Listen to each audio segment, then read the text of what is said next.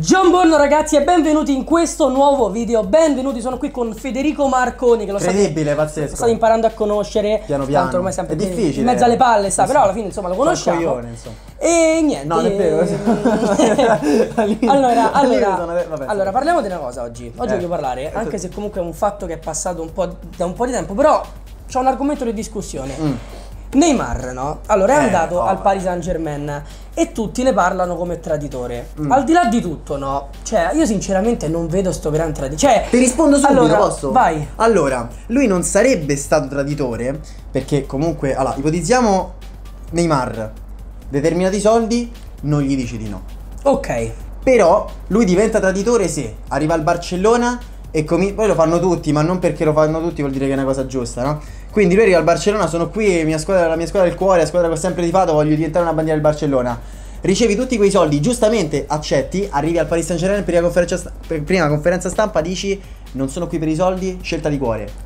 Sei ridicolo. Allora, sì, que- sì, evita, no, no. non te l'ha chiesto No, no, nessuno. allora su questo sono d'accordo. Su Sei questo sono d'accordo. È sempre lo stesso gioco che si fa che quando arrivi in una nuova squadra tiri acqua al tuo mulino, insomma, Sì, per, però poi cioè, per diventa, no? cercare di alimentarlo. Però il problema è un altro. Il Sì. problema è questo: che comunque si sta facendo passare Neymar come traditore assoluto per, per aver scelto il Paris Saint Germain.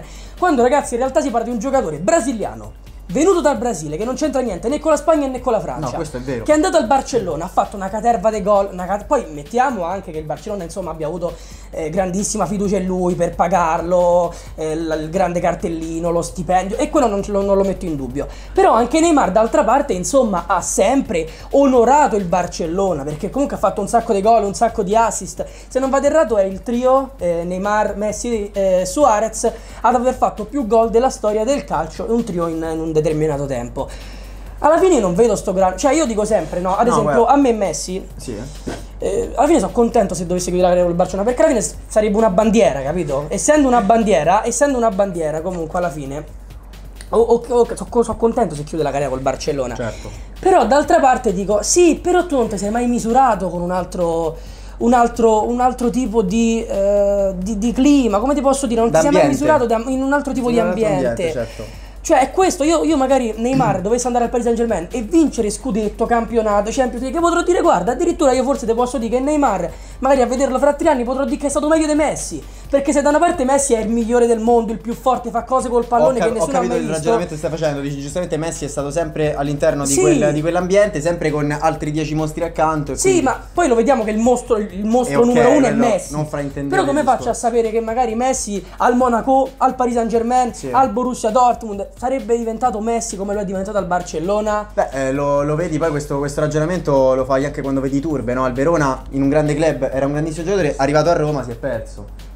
Poi non lo so tu che ne pensi, cioè tu di me, scusa alla fine no, io sono contento che se che Ah. Vero che riesca non ha sentito quello che ho detto. Sì, no, no, no, no, ho capito, ho capito, Non però afferrato. No, ti ho capito i turbi che hai detto i turbi al Verona. Eh, se non ha afferrato.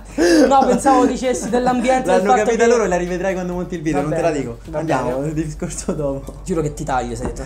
Comunque, comunque a parte questo, sì.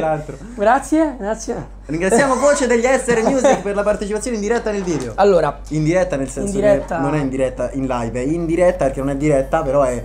Cioè non c'è ma c'è, capito? senti, io già chiuderei il video perché tu insomma hai detto troppe, hai detto troppe stronzate. Però abbiamo detto il nostro pensiero su Neymar. Sì. L'importante era questo. Loro sono felici. Diteci cosa ne pensate qui sotto nei commenti. Passate sul canale di Federico Marconi se ancora non l'avete fatto. Eh, oh, è importante, ragazzi, importante, vengo a però dico. guardate bene se volete iscrivere, non è una persona molto sana di mente, ogni tanto gli parte, però potrebbe essere utile. Io vi ringrazio come sempre per la visione, vi lascio in descrizione il link del Maestro 2.0 che apprendi di pronostici è il migliore, ragazzi, calcio NBA è veramente il più bravo.